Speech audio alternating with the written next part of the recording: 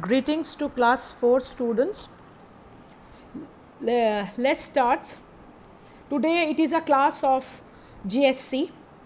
So we will start with our first chapter that is adaptation in plants. So let's start with the introduction. Now we all know that plants are found everywhere on earth. And different place of the earth have different climates. We know that also. That is warm hot cold and very cold. So and certain places uh, get a lots of rainfall also. Certain and while the other places are very dry. So due to the weather and the soil condition so plants also affected. Plants develop so for these reasons plants develop special features to live successfully in their unique surroundings. So this process of changing to suit the environment is called adaptation. So today our chapter is about the adaptation of plants. And the natural home of a plant or an animal is called habitat. So adaptation in plants plants are actually divided into two major groups. One is terrestrial and another is aquatic. So, what a terrestrial plant means? It means plants that grow on land called terrestrial plant and and aquatic plants means plants that grow in water. Now, there are uh, these terrestrial plants are found in different types of habitats. So, what are those? Those are deserts, hills, marshes, plains, forests, grasslands, and coastal regions. So, these are the different types of habitats for the terrestrial plants. Let's start with desert. Now, what kind of plants grow in deserts? Um, and uh, what kind of roots they have. So, we will discuss now. Deserts we know are areas that receive very little or less rainfall and there the temperature during the daytime is very high all of us know it so it is very hot dry and full of sand in desert due to the very little rainfall uh, there is a very little water availability. And due to the scarcity of water desert plants adapt themselves in order to obtain uh, op, uh, obtain water from the soil and to prevent loss of water. Let's take an example of cactus it stores water in its thick green stem and they uses the stored water when there is no rainfall. The leaves of the cactus plants change into thin sharp spine which prevent the loss of water through transpiration. So what is transpiration means? It is the process of losing water through stomata of leaves. In previous classes we know, we already came to know that what are stomata. So next is, since these leaves of cactus which are look like thin sharp spines reduce So uh, these uh, leaves, uh, the leaves of cactus carry out photosynthesis for the plants. Though they look like uh, spines, but they also carry out photosynthesis for the plant. And the root, which is the main important thing, which is of the cactus plant, are spread out wide and deep to absorb much water from the soil. Example of the cactus, uh, example of desert plants are cactus, we came to know already, then palm, then acacia. Next, the terrestrial habitats is hills. The temperature in the hills varies from cold to extreme cold. So, during winter there are snowfall also in some areas. So, trees that grow in hills have adapted themselves to survive in these cold conditions. The important trees are pine, then fir, then cedar, deodar examples. These are the important examples of the hilly plants. Now, pine trees have a conical shape, we know that, and it is conical shape. The trees that are grow in hills have cones instead of flowers and that is why it is known as conifers. They have the cones instead of flowers, so they are known as conifers.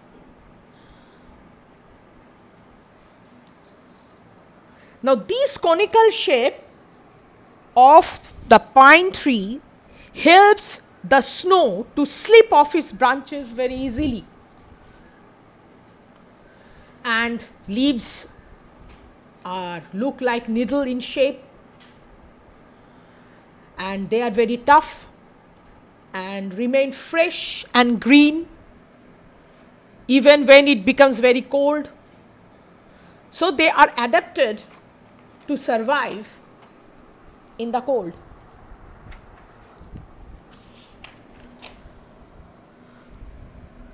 These trees, that is, these coniferous trees, do not shed their leaves, so they are called evergreen trees and they remain green throughout the year.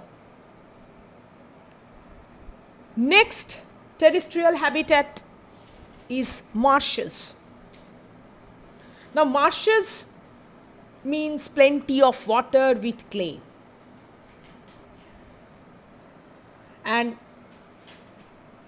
last year we have read that these clay soil they have a very little air space in between them. So roots of plants which grow here do not get enough air to breathe. So plants have adapted some special roots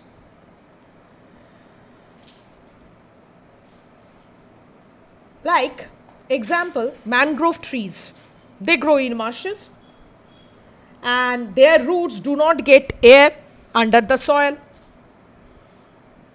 So they grow above the soil. And these type of roots are called breathing roots. Mainly we can get this type of trees, we can see this type of trees in Sundarban areas. The next is the plains. Now, the plains have a very moderate climate. It is neither too hot nor too cold, and there is sufficient rainfall also. So, more mainly uh, peepal and banyan tree are commonly found here.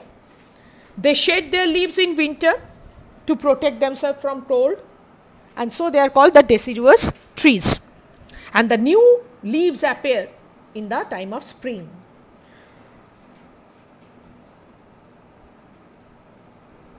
Next is uh, forest. Forests are thickly populated with different kinds of plants. We all know it. There are a variety of trees, uh, then shrubs, then herbs are found here. There are evergreen deciduous and coniferous trees in forest. And forests are the home to a wide variety of animals and birds.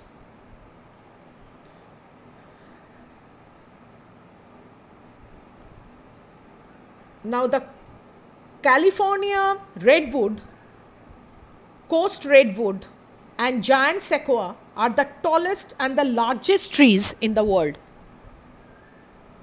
Next terrestrial habitat is the grasslands. Grasslands are large areas of land covered with grass and wildflowers.